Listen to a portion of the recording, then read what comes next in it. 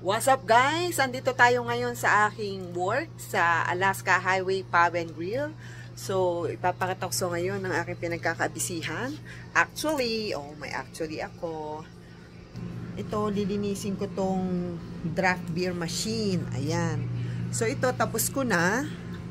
So, ang ginawa ko, ito. Ngayon, ito naman ang ginagawa ko.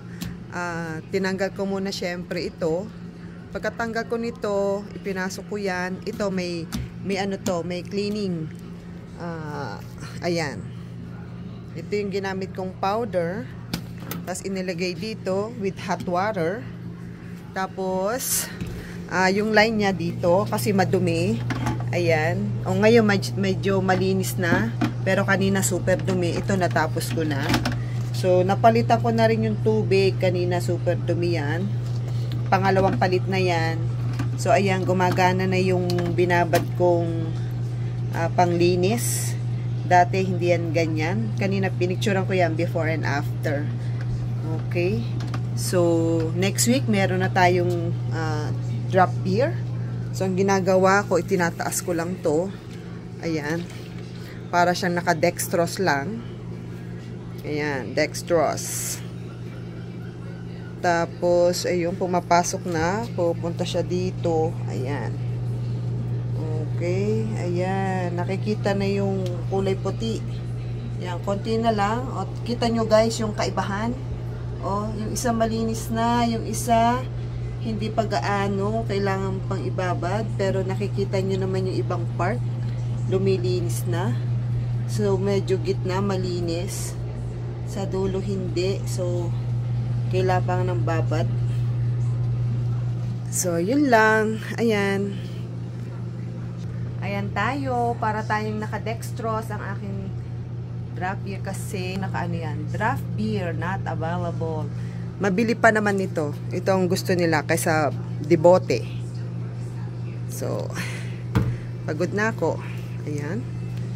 So, ibababad muna natin. Ang putik na. Wala na akong guest talagang sinakto ko na wala akong guest kasi nagga-gloves ako. So, ayoko ng ano. So, ito yung aking bagong ilaw. Ang ganda ko. Char. Tapos, yung kabit na ilaw. Ayan. Ayan. Oh. Kita nyo guys. Teka, patayin natin yung ilaw para kitang kita. Pati natin to. Yan. Para kitang kita ang aking mga design. Yung mga aking lights. O, yan. Tapos yan. O, hindi ko na siya pinabilis. Yan, kasi ito. Yan. Tapos may isa pa akong doon. Ayan. Yung aking isang diilaw. Tapos meron pa ako ditong isa. Ayun.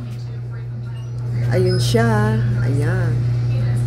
Tapos ito pa. So, bali, apat ang aking uh, ah, LED. Tsaka yan pa. Siyempre, ito pa yung mga LED ko. Si boss na naglagay niyan. Yung mga line-line. Kasi, hindi kaya ng powers ko yan. Kailangan ng matangkad.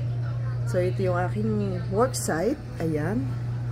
Ito ang aking bar counter. Yan, mga alak ko. Oh.